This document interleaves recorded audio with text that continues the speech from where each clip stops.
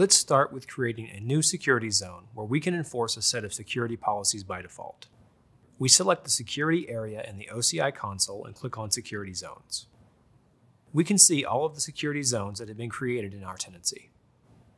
To create a new security zone, we click on the Create New Security Zone button. We then give it a name, New Maximum Security Zone, and a description, this is a new maximum security zone. We also need to specify the compartment where our security zone will live, along with the corresponding resources that we place inside the security zone. We will place this new max security zone under the root compartment. The new security zone is now active. We can also see that it is protected with the maximum security zone recipe, which is a collection of over 30 security policies that are defined to ensure optimal security posture by default. These policies cover resources like object store, compute, and database, among many others.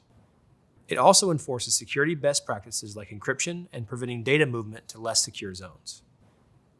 When we created the security zone, we also created a new compartment to store all of the resources associated with that zone, we can see from the compartments section of the console that I now have a compartment called New Maximum Security Zone.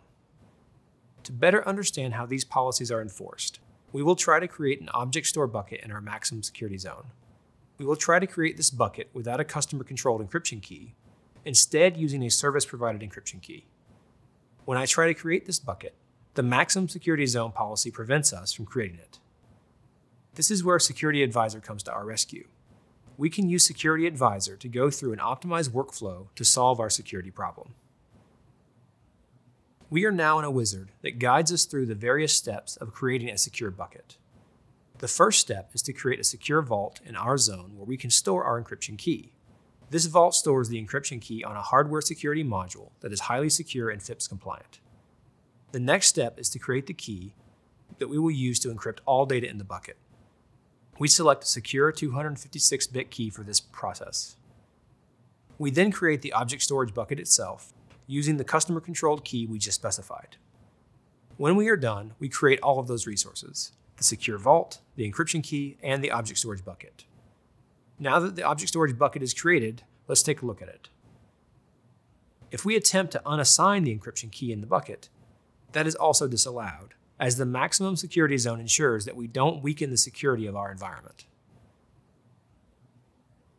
Let's look at how CloudGuard can help us monitor and protect our entire cloud infrastructure portfolio. Customers typically have a broad global footprint, with some applications running inside of a maximum security zone and others in regular compartments. CloudGuard allows us to view and act on our global security posture with a single pane of glass. The CloudGuard console shows us all of the important security information about our cloud topology in one view. We can see that we have an excellent security score and also a low risk score. The risk score gives us a sense of the criticality of the issues, with a lower number being better. CloudGuard gives us actionable recommendations to address our identified security problems. We spend a lot of time in CloudGuard to ensure that we surface only actionable problems and not noise. We can see all of our problems broken down by severity, we have 10 open problems in our environment. We can look at these problems by compartment or by region. CloudGuard gives us a global view of our security posture, and in this case, we have two regions, one in London and one in the US. Below, we can also see a map of where any suspicious user activity is coming from. Thankfully, we don't have any at this time. We can also look at the trend of our security score and identified problems over time. As we've been fixing problems, our security score has increased. To see how CloudGuard monitors our environment, let's look at the detectors that are configured to monitor our environment. CloudGuard has two sets of detectors configuration detectors that detect changes in cloud configuration, and activity detectors that detect changes in user or environment activity. The configuration detectors monitor for a number of insecure configurations and have predefined severity levels for each configuration error. For example, a public bucket is considered a critical vulnerability. We also cover other security posture violations like key rotation, for example. We constantly monitor user activity on the system. Activity from a suspicious IP, for example, is a critical issue. These configuration and activity detectors combine together to form security expertise. We process these issues through machine learning algorithms and turn those issues into problems that are actionable. We take action on these problems through our responders. Our responders range from making a bucket private to disabling a user and can be set to act automatically or require a human approval. The entire detector, problem, responder framework has been designed to filter out noise and act quickly on security vulnerabilities. Let's take a look at CloudGuard in action. We are looking at a hacker who is trying to log into OCI using stolen credentials.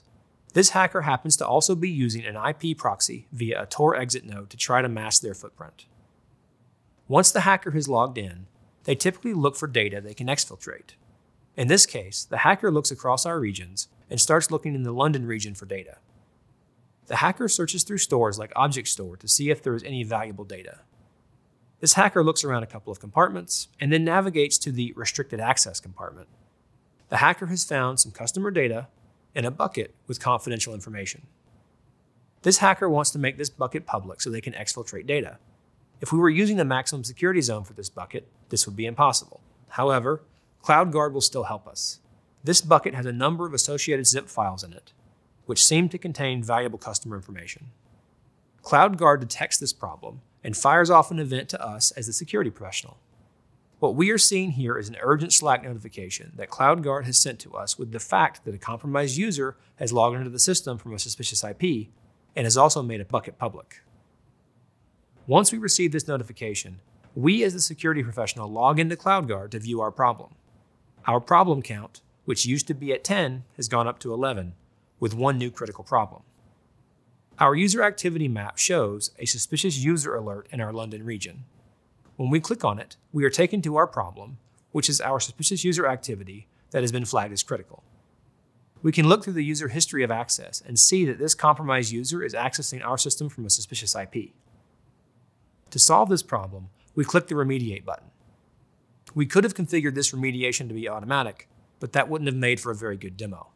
So we must remediate this with our manual workflow. When we click Remediate, CloudGuard communicates with our identity system to disable this user. The identity system has now revoked the user permission. CloudGuard shows that this problem is now resolved. That takes care of the user, but what about the public bucket? We don't have an open problem related to public buckets, which might seem weird. The reason for that is because CloudGuard was configured to auto-resolve this problem for us. When we go into our resolve problems for public buckets, we see that our public bucket has automatically been made private. CloudGuard detected this problem and remediated it in five seconds. This is just a small bit of the functionality provided by Maximum Security Zones, Security Advisor, and CloudGuard. They act together as a highly secure set of tools for protecting your cloud environment.